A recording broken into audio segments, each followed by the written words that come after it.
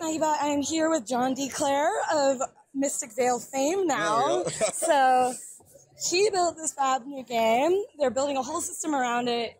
So tell us a little bit about Mystic Vale and the kind of development. Sure. So Mystic Vale is actually um, the second card crafting game that I designed. Okay. Um, the first one I pitched to AEG. They liked it. They bought it. And they were going to do that one first. Sure. And then we talked about okay, well, what, what else can we do with this this concept of card crafting, right? Um, and I had a number of ideas. They suggested, well, we could use maybe a more um, gateway type, lighter game Yeah. than Edge. Edge is a pretty Edge is a meaty game. Edge of Darkness. Edge of Darkness. Edge of Darkness. Sorry. Edge of Darkness. Edge of Darkness is a pretty meaty game. right. So I said, okay, I've got some ideas. Let me let me see what I can do. Um, came back to them with Mystic Vale, and they're like, wow, this is great. Maybe we'll do this one first. Sure. Yeah. So we ended up doing it first. So what did you think? So in my opinion, Yeah. Mystic Vale got like a hype train, right? It, it has. they yeah. went all out. Uh, Yeah. How did you feel? Like AEG is like, very uh, very excited about this idea. Yeah. but was that like thrilling? Like that's Oh gosh, yeah. I mean, so so Mystic Vale is actually the fourth game I'd sold. Edge of Darkness being the third Yeah. game, um, and a couple others. But it's actually the second game of mine to come out. And the first game was like a small party game release, Okay. you know, of, of little fame. but that that's Um, enough to like get you Yeah, knowing it, how to. it was actually great practice, great pitching, right? Um, uh, but you know, now I've got AEG, right? When a premier publisher is getting the game and they're very excited about it, super excited. and they're sure. very personal. Like Todd Todd Rowland is like you know he definitely takes care of you. Speaking of Todd, Speaking of Todd, but see, we'll drag him We, in. we, we try and take care of our people. yes, they do. So, what kind of games are you really into? Have you seen anything here or lately that you really are There's a whole bunch of stuff I want to try. Uh, that's here. So I- I, got I to mean- play Scythe a few times Okay, before I got here, which is awesome game. Heard fantastic things about Cry Havoc. Haven't got to try it yet. I've- I tried a prototype a couple years ago and it was already really good. I finally, so I'm yeah, excited. I believe it.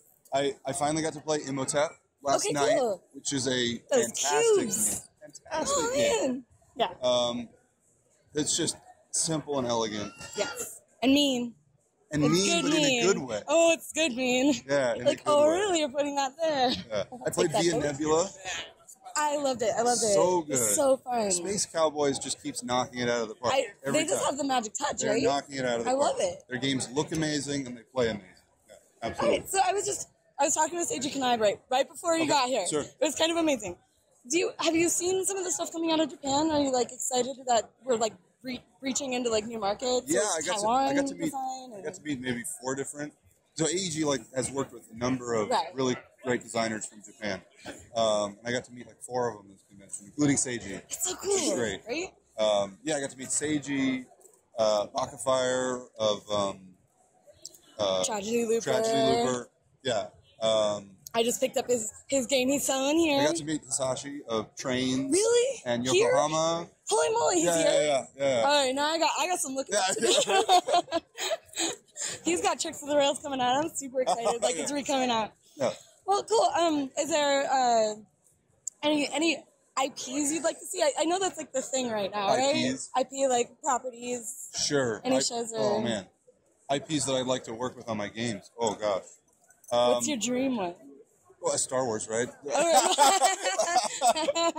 we just see you wandering over to the fantasy play booth. Star Wars or Lord of the Rings or something, right? I mean, Right, okay, so the big one. everybody wants to do that. I don't know. Well, maybe not everybody, but I always think it would be cool if they started doing more books, like more book based stuff. And I know um, Yeah. that there are some here and there, but I always think it'd, it'd be very interesting if more of those got licenses Yeah, yeah. in games.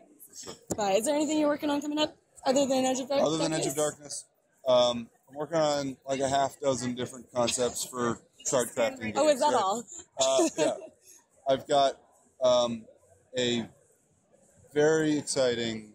At least I'm very excited because it's this game makes me laugh a lot. Okay. Game that I'm working on that AEG picked up. That is a dexterity game. Oh no. I don't know how much I'm allowed to give away about this. Right, one. you can probably just be generic, but This would be this would be a very big box game.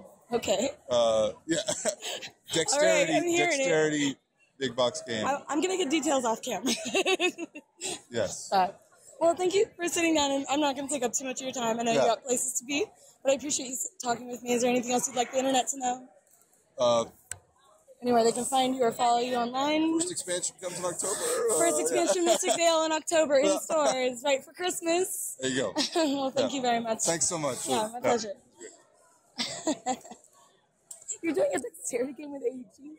yeah. Alrighty, I'm gonna just. Oh.